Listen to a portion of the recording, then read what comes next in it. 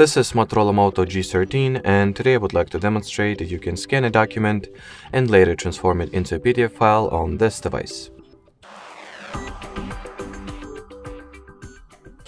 So to begin with, make sure that you have the Google Drive app downloaded and installed on your phone.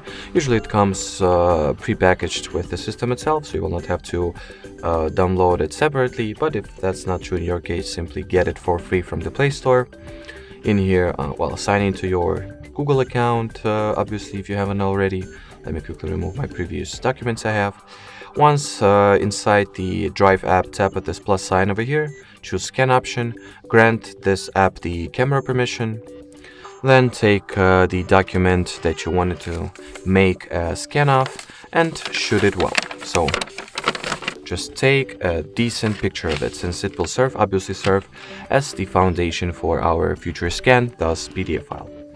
So take a good picture, make sure that it's straight and properly aligned. Then if you are satisfied with the results so far, proceed, if not just retake the image.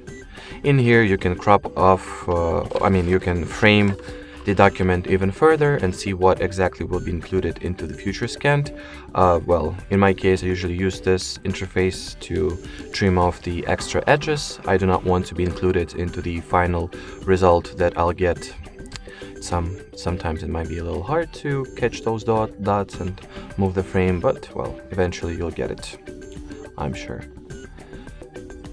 So that's the uh, pretty much the preview of the scan that I'll uh, result with. Uh, so if you are satisfied and ready to save it, just tap at the save button.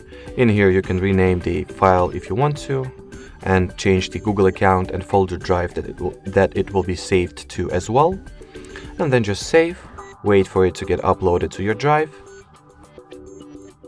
And here you have it. Alrighty, so that will be it for this video. Thanks for watching, thanks for your attention, and bye bye.